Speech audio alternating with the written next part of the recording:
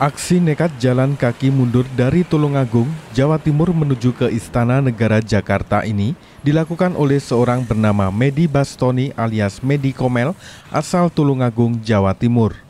Menurutnya, melakukan aksi jalan kaki mundur seperti ini sudah yang 18 kali dilakukannya. Namun jarak yang paling jauh baru kali ini yakni Tulungagung, Jakarta. Medi dan Agus berangkat dari Tulungagung pada hari Kamis tanggal 18 Juli lalu. Medi melakukan aksinya lantaran berniat akan menemui Presiden Joko Widodo di Istana Negara.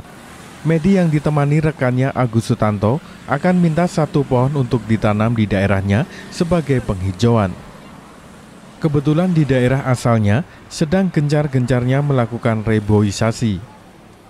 Medi dan Agus sangat berharap sesampainya di Istana Presiden nanti, Presiden Jokowi mau menemuinya, bahkan mau memberikan sebatang pohon yang ia inginkan.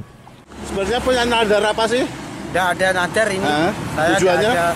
Tujuannya ini kegiatan rutin sudah yang kesekian kalinya, Hmm. mulai sekitar 18 kali. Karena sekarang di tempat saya lagi ada eh, penggiatan untuk reboisasi hutan, jadi saya mau minta sebatang pohon pada Pak Jokowi untuk ditanam di lereng wilis sebagai ikon penghijauan.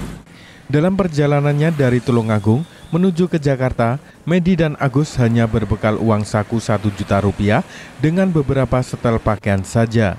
Sementara untuk persiapan fisik tidak begitu diprioritaskan karena sebelumnya mereka sudah terbiasa melakukan aksi seperti ini.